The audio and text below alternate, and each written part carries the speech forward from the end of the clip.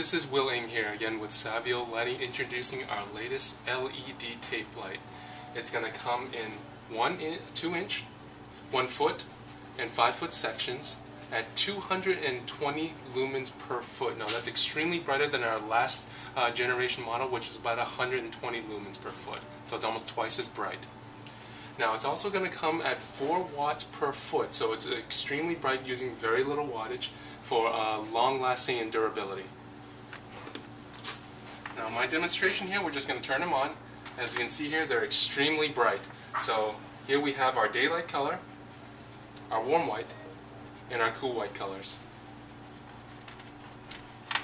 As you, as you can see, I plug these into our Y connector.